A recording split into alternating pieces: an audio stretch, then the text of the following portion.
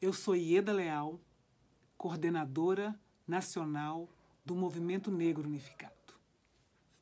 O Brasil precisa do SUS. Quem defende o SUS defende vidas. SUS é o melhor plano de saúde do nosso país. Hoje, aqui, convocando todos da comunidade negra para se juntar à frente pela vida. Sim, nós precisamos defender o nosso plano de saúde. O Brasil precisa do SUS. Defender vidas é defender o SUS.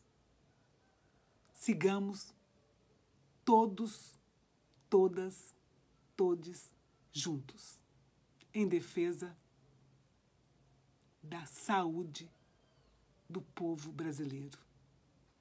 O Brasil precisa do SUS.